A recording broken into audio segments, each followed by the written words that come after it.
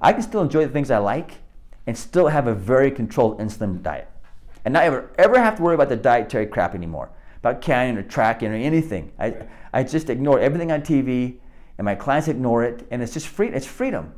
Because they don't ever have to pay another dime again the rest of their freaking lives to the dietary industry. Right. They just know what to do now. And it's simply about controlling insulin. And lots of facets. They gotta sleep better, they gotta strength train, they gotta exercise, they've gotta control carbs fast. I mean, if they'll just do that, the longevity in that is crazy. I just listened to I was listening to Joe Rogan the other day with Peter Attia.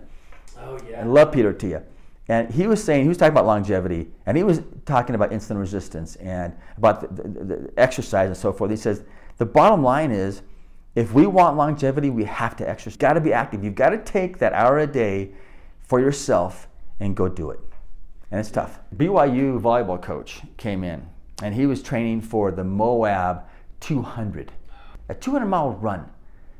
After 100 miles, my feet are so bloody and blistered and hammered. I mean, there's just no way. He's an amazing guy, amazing athlete. Of course, the BYU volleyball team is awesome.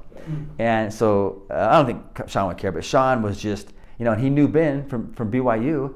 So he came in there, started the program, and it just, it just changed the way he trained. I mean, if you're going to be an endurance athlete, this is the way to go. I mean, period. Yeah. I mean, uh, if you weren't, if you're not going low carb, it's just silliness, because it's just, it's like cheating. I mean, it's just, I was waking up in the morning doing 20 mile runs, 25 mile runs with no food Yeah. and feeling amazing. I had to have a little electrolytes and that's it. So they were eating coconut and Yeah. fish and, Yeah. and until, until the Western diet came into their lifestyle, then that, that ruined everything. Right. As a strength athlete, I probably wouldn't do it long term, but in short bouts, it's awesome. And I know one, in fact, one of the main trainers up in Salt Lake, MMA, puts his, his athletes all on ketogenic diets.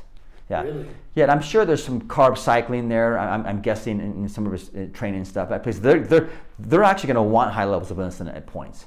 Because insulin also makes muscle grow. That's why bodybuilders inject insulin. Because insulin makes everything big fat, muscle, Yeah, everything. I mean, most of my clients that we see here are, are really sick. I do get guys that come in here that are, that are ready to, to work out hard, you know, as they do the program. And, and, you know, I warn them, I said, listen, this is going to feel weird for a little while because you're not going to have the glucose in your system to make you feel good. So you're going to feel a little lethargic. You're going to feel a little tired. You're going to feel a little weak, a little off. It just takes a little bit of time to kind of fine tune this. And, and uh, but once you get it, it's awesome. It took me a couple months actually to really feel like I was back to where my normal self, right? Because I remember when I first started doing this, I couldn't run four or five miles. I'm thinking, yeah, this sucks. No, this is awful. And then, boy, once you start to kick in, though, man, you just feel I mean, your energy levels are just spot on all day long. I just felt lean and healthy, and I felt, um, I just felt powerful. I felt really strong. Edited and summarized, easy to share with loved ones. The description below the title for this video has these summary points.